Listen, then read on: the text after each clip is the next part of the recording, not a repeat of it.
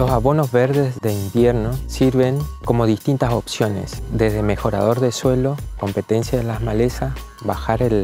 la cantidad de agroquímicos que podemos usar y eh, para consumo animal en el bache invernal. Este es uno de los factores principales en esta zona del Colorado, donde la provincia de Formosa tiene grandes superficies con eh, ganadería. Entonces, con el Instituto Fuentes Godo estamos haciendo ensayos con vicia, centeno, avena y cebadilla para poder determinar cuál se adapta más a esta región. Aparte, nosotros hemos sembrado y estamos viendo resiembra natural de vicia para que queden lotes aislados para la parte productiva ganadera y el objetivo de controlar en malezas.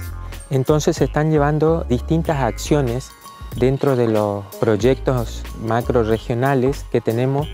para eh, lograr una mayor eficiencia y poder pasar el bache invernal.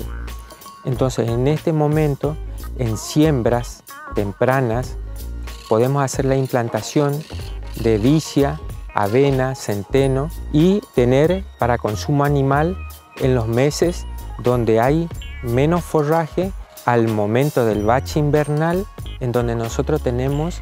opción de pasturas que van a ser alimento para el ganado bovino